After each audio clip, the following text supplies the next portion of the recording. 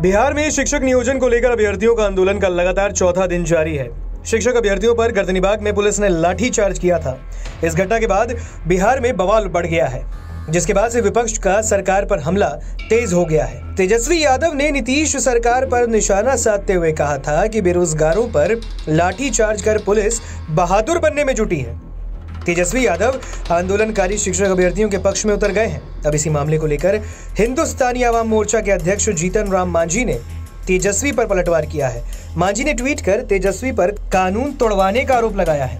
मांझी ने ट्वीट करते हुए लिखा कि शिक्षकों की बहाली नीतीश सरकार ने की चार हज़ार रुपए। वेतन से आगे बढ़कर उनको सारी सुविधाएँ दी। आगे भी कुछ भी उनके लिए होगा, वो भी हम लोग ही करेंगे। वैसे सरकार में रहकर शिक्षकों को वेतन नहीं देने वाला नेता बेगुनाह शिक्षकों, शिक्षक अभ्यर्थियों को भड़काकर उनसे कानून ज़रूर तोड़वा रहे हैं।